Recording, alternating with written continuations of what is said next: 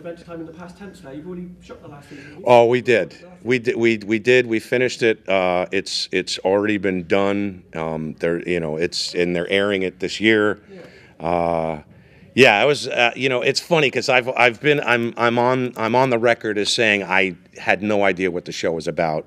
Yeah, you know what? Yeah, in, in you know within the you know the first couple of seasons, and then it was explained to me beautifully um, by uh, by uh, Tom Kenny, who was the Ice King and also SpongeBob SquarePants. He's uh, he's brilliant. Um, he he said, John, it's it's this it's this generation's Yellow Submarine, and I went.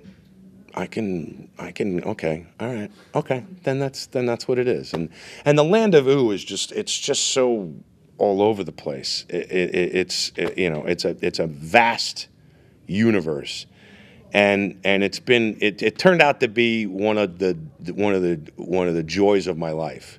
Uh, last episode we recorded, I we had to. I'm not gonna. I can't. I can't say what happens, but uh, I could barely get through it uh, emotionally, and I've never really had that happen to me before, except singing Christmas songs for uh, for uh, penguins in Madagascar. it's embarrassing. Christmas songs, just oh God, this is really rough.